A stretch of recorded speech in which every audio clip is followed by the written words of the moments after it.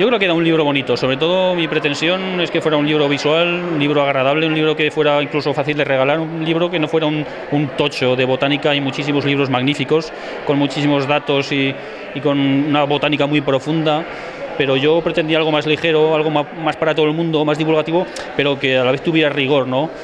No sé si lo he conseguido, pero por lo menos en el aspecto de visualidad yo creo que ha quedado bien, ha quedado bonito. Ya han podido apreciar la definición, la calidad de las imágenes que se han hecho con tanto cariño, ¿no?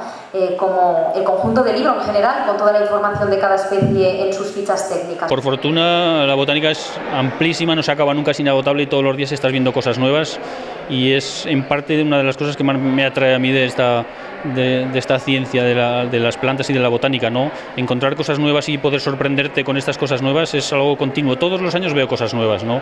Algunas muy, muy raras y, otras, por desgracia, también muy escasas, ¿no? La botánica es una ciencia que se dice dinámica, es una ciencia que, cambia continuamente, es una ciencia que no se puede eh, homogeneizar de un año para otro. Diez años a lo mejor que es lo que yo llevo fijándome más en profundidad en el tema, yo llevo toda mi vida, ¿no? Quizás no sería suficiente para, para dictar una sentencia acerca de estos cambios, ¿no? Pero cambios, todos los años son distintos y esto también es en parte lo, atractivo del tema. No hay dos años iguales porque no hay dos años con una climatología igual ni, ni, con unas temperaturas iguales. Cada año salen cosas distintas y en épocas distintas también. Hay cosas que una planta que un año sale y otro no.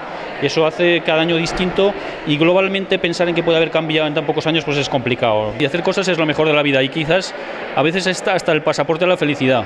El estar con ilusiones es lo mejor que le puede pasar a uno. Entonces era una ilusión, mi pasión y mi afición es la naturaleza y el poder plasmarlo y compartirlo después, pues para mí es suficiente motivo para, para haberme embarcado en, en todo esto.